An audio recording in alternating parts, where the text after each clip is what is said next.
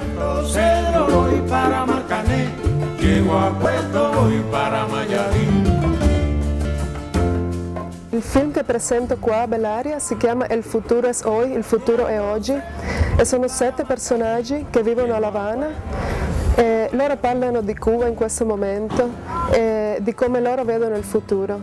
Certi di loro vorrebbero un cambiamento, altri vorrebbero che le cose restassero come sono adesso.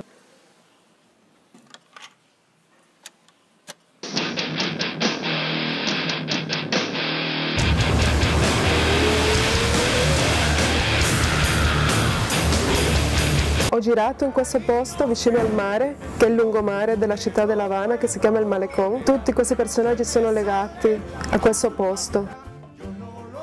Con il tempo ho visto che è interessante parlare di Cuba, come andrà avanti, cosa succederà nel futuro. Vive una situazione particolare con questa rivoluzione e proprio questo anno Cuba ha fatto 50 anni della rivoluzione cubana. Chan, chan,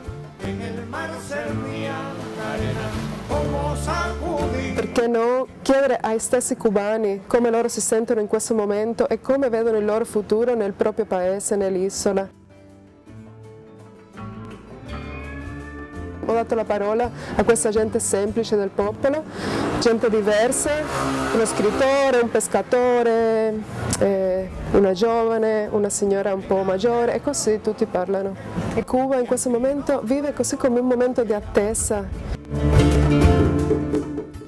No, io l'Italia la conosco già un po', sono già stata qua, ma qui sembra così le vacanze al mare, non sembra anche che ci sia un festival di cinema, ma